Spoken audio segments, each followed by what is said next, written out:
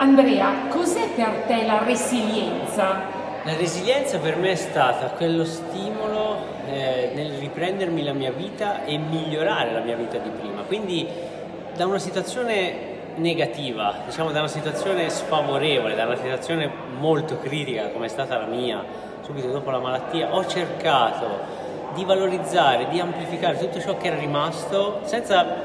diciamo, preoccuparmi e pensare troppo a cosa non c'era. Ho guardato tutte le nuove possibilità e queste nuove possibilità nel tempo mi hanno portato, mi hanno fatto maturare e mi hanno portato a fare cose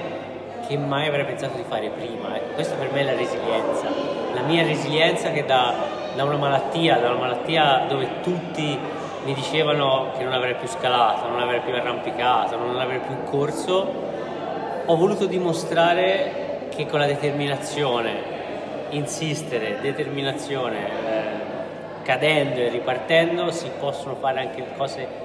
ben più di quelle che potevo fare prima e dimostrando anche che poi si poteva tornare a fare veramente una vita,